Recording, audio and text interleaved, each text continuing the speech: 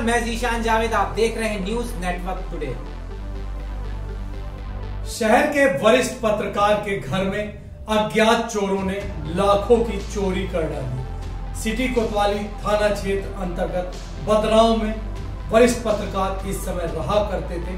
उनके घर पर बीती रात अज्ञात चोरों ने धावा बोला नकदी सहित लाखों के सोने चांदी पार कर दिए। सिटी कोतवाली थाना अंतर्गत बीती रात बदराव में अज्ञात चोरों ने वरिष्ठ पत्रकार के घर में लाखों का सोना चांदी का जेवर नकदी पार कर दिया।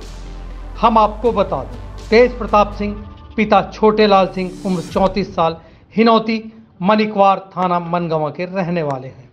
वर्तमान में बदराव में किराए के मकान में रह रहे थे। एक अखबार में काम कर रहे हैं। शहर के वरिष्ठ पत्रकार हैं। रोज की तरह अपना काम खत्म करके घर वापस लौटे, सबके साथ खाना खाया और सोने चले गए। पूरा परिवार एक कमरे में सो रहा था। दूसरा कमरा बंद था, जिसमें अलमारी रखी थी। अलमारी में सोने चांदी के सामान और जेवर रखे हुए थे। सुबह जब सोकर उठे तो बगल के कमरे का दरवाज़ा खुला हुआ था, जिसमें अलमारी में रखी थी, लाकर में सामान रखा था, सोने चांदी का, जिसमें सोने के तीन नग मंगलसूत्र झुमका, चार अंगूठी, तीन कान के टॉप्स, पाँच चांदी के पायल, सहित सोने चांदी के अन्य सामान हैंड बैग में रखे चार हज़ार रुपये साथ ही लॉकर में रखे सतहत्तर हज़ार रुपये नकदी सहित अन्य सामान अज्ञात चोरों ने पार कर दिए। सुबह जब घर की यह हालत देखी तो तेज प्रताप सहित परिजनों के होश उड़ गए। ज़िंदगी भर की जमा पूंजी घर से नदारत थी। तत्काल पहुँचे सिटी कोतवाली थाना अंतर्गत चोरी की रिपोर्ट लिखाई।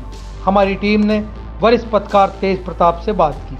उनका साफ़ तौर से कहना था, रात में सब कुछ ठीक ठाक था। जब हम सोए थे, सुबह सोकर उठे तो देखा जिस अलमारी में सामान रखा था, अलमारी खुली हुई थी, सामान गायब था।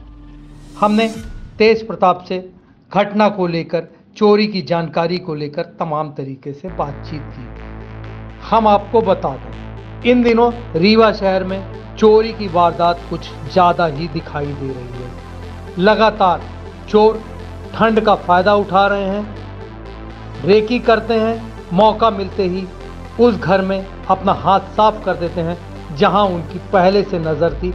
ये घर उनके लिए पूर्णतः सुरक्षित है। इस घर में कुछ न कुछ मिल सकता है। कुछ ऐसा ही तेज प्रताप के घर के लिए भी कहा जा सकता है। पत्रकार हैं दिन भर घर के बाहर रहा करते थे। अज्ञात चोरों ने सोचा होगा दिन भर टहलने वाला आदमी घर आएगा थका मंदा सो जाएगा और हमें मौका मिल जाएगा, हम उनके घर में लाखों की चोरी कर सकते हैं। कुछ ऐसा ही हुआ तेज प्रताप के घर में। सुनिए, तेज प्रताप चोरी को लेकर कह रहे हैं?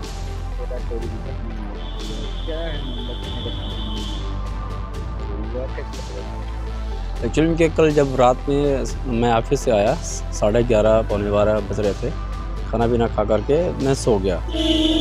और परिवार सहित सब सो, बच्चे भी थे, सब सो गए। बगल वाले रूम में जहाँ अलमारी रखी थी, वो पूजा घर था, वहाँ अलमारी रखी हुई थी। सुबह जब छः बजे उठे तो देखे तो अलमारी खुली थी। बगल का दरवाज़ा भी खुला हुआ था। तो हमने कहा कि ये सोचा कि ये दरवाज़ा फिर खुला क्यों? तो हम सोचे शायद सुबह घर का कोई आदमी उठा होगा। फिर देखे तो अलमारी से पूरा सामान गायब था तो उसमें कैश जो थे वो गायब हैं। और सोने चांदी के जो जेवर थे वो सब गायब थे।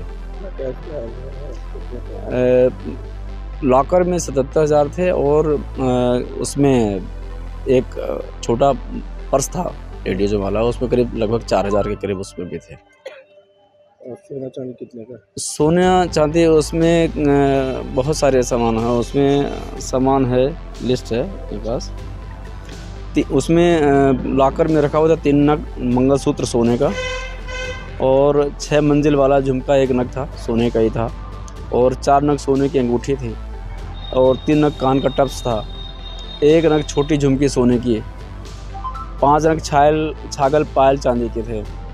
और एक नग चांदी की थाली एक नग चांदी की चांदी का नारियल और दस नग चांदी की सुपाड़ी थी। चांदी के लक्ष्मी और गणेश जी थे और एक नग जो थी नाक की नख, नथ। नाक की नथ थे। कुल टोटल चोरी अगर देखा जाए तो कम से कम छः सात छः से सात लाख रुपए से ऊपर के जा रहे हैं। ये बदराव की है भैया बाबा। मेन गुड़ रोड में ही है। भैया बाबा के बगल में मकान है, वहाँ रहता हूँ। थाना सिटी कोतवाली। किसी अब संदेह तो किसी के ऊपर नहीं है किसको अपन बता सकते हैं? चोरी तो चोर अज्ञात हैं। हाँ रिपोर्ट हो गई है। तेज प्रताप सिंह।